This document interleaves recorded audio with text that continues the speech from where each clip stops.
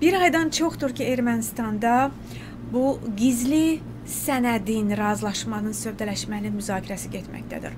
Azərbaycanda bu sövdələşməyə hazırlıq gedirlə bağlı heç nə deyilmir. Biz Paşinyanla Əliyevin Moskvada görüşü barədə erməni mənbələrindən, rus mənbələrindən xəbər tuturuq. Azərbaycan heç bir ə, e, orqanın, mətbuat ə, e, xidməti, nə prezident administrasiyası, nə xarici işlərin heç birisi belə bir lüzum görmür ki, ictimaiyyəti ə, e, məlumatlandırsın ki, belə bir görüş var, qarşıdan gəlir və müzakirələr keçirilməkdədir. Bunun bizim üçün fəsadları nədən ibarət ola bilər?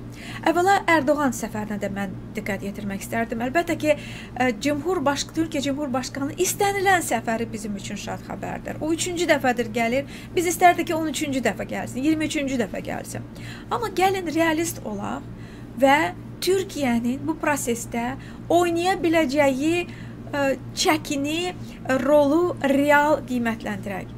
Bu gün Türkiyə bu danışıq masasında yoxdur və heç nəyi həll edə bilmir.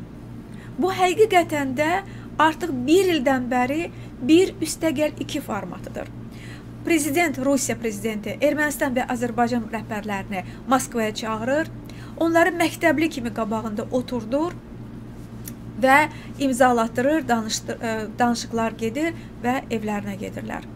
Azərbaycan prezidenti ümumiyyətlə Putinin olmadığı yerə getmir. O bu 1 il ərzində ancaq 2 dəfə Bakını tərk edib, ikisi də Moskvaya Putinin yanında keçirilən görüşə getməkdən ötürü olub.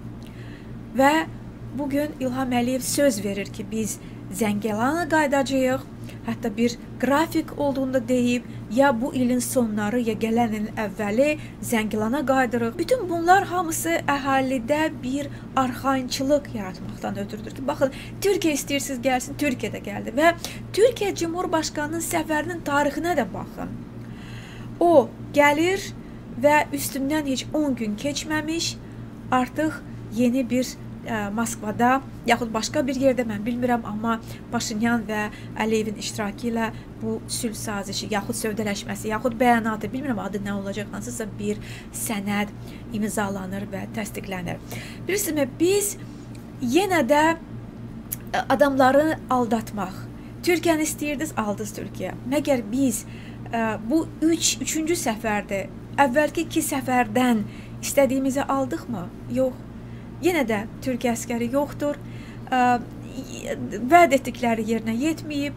Nə Şuşada general, konsul, general konsulluq açılmayıb, nə Şuşadakı o məktəb açılmayıb, nə o Türkiyə Rusiya monitorinq mərkəzi vardır, ancaq elə kağız üzərində qalıb. Heç kəsin yadına da düşmür. Heç kəs ə, soruşmur da ki, yaxşı biz axı dəvət etmişdik, mərkəz açmışdıq. Bəs nəyə görə atəşkəsin pozulması barədə ancaq Rusiyanın Müdafiə Nazirliyi xəbər vermir? Axı biz burada gül kimi bir qurum açmışdıq.